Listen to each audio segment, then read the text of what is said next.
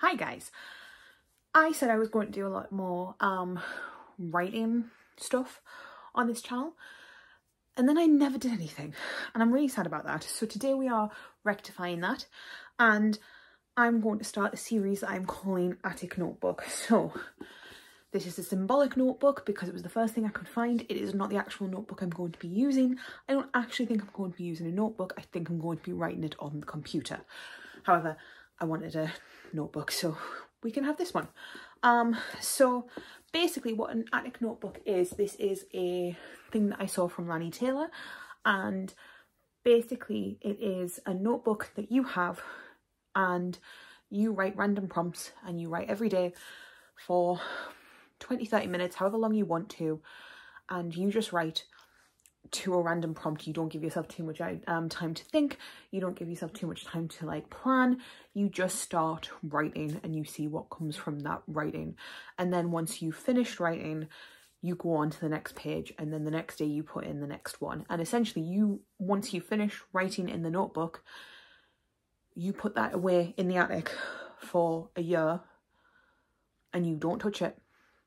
And then you come back to it and you can see what you wrote and it can potentially give you vibes and ideas for when you're writing something bigger. So I want to kind of do that, but I'm going to do mine in a little bit of a different way. So last year, very early on in the year, I got my friends to give me prompts and this was ages ago and I got loads and loads of prompts. I essentially said, give me your favourite tropes. Now some of them gave me really, really basic tropes like um, enemies to lovers, the one bed trope. Um, some, Lisa, gave me some that I couldn't do. However, there are some really, really interesting ones in here and I genuinely do not remember what most of them are. So this is going to be very, very interesting. Um, so what I'm going to do to spice things up a little bit more as well I am going to take two prompts and I'm going to try and add them together. Um, so I know that there's like stuff like fairy tale retelling. I know that enemies to lovers, friends to lovers is in there, types of things like that. But I don't know. I haven't looked at this for ages. So I thought I dropped one. I didn't. Uh, let's pick out this one. And let's pick out this one. So this one is Trials. Can you see that? And then this one, oh, this actually works really, really well together. Um, it is Training Montage.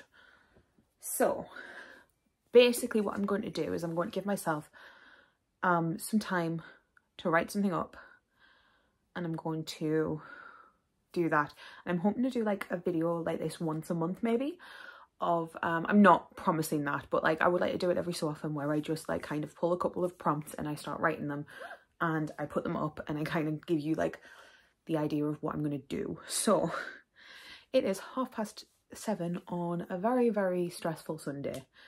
Why I decided I'm going to do this now is anyone's guess apart from the fact that I don't have a video planned for tomorrow.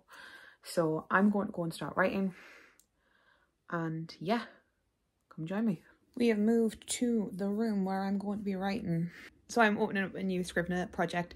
Um, Scrivener is my um, writing tool that I use. Um, and I'm just going to basically start. I'm going to give myself um, 25 minutes, I think, because it's... Eh, I'll wait until um, 22 and I'll give myself um, 20 minutes and yeah, essentially, all I have to do is sit and write about trials in a training montage style, which I think kind of works perfectly together because I feel as if if you're going to have trials, you should have a training montage. So we're gonna see how this is this works. Um no, let's let's go now. I'm gonna go and I'm just gonna go until eight. So let's let's start.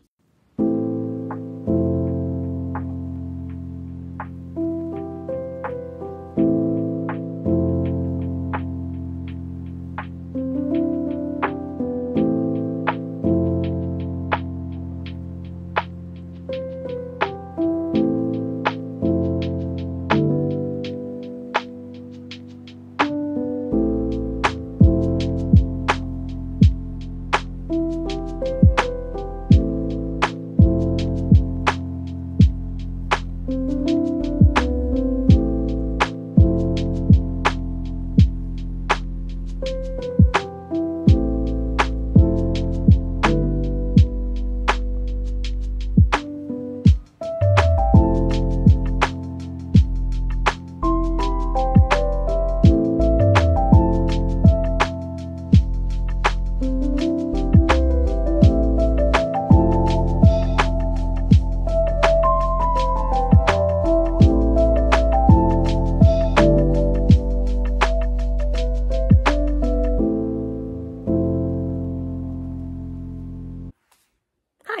so I just finished, um, I finished a little bit earlier than the 20 minutes. However, I got to a point where it was like quite a natural stop. So I did that. Um, yeah, it is basic as anything. Um, it, yeah, it's, it's quite basic. Um, very, I had 20 minutes to write it, but it's interesting and I would love to see these characters and where it goes. It accidentally became gay.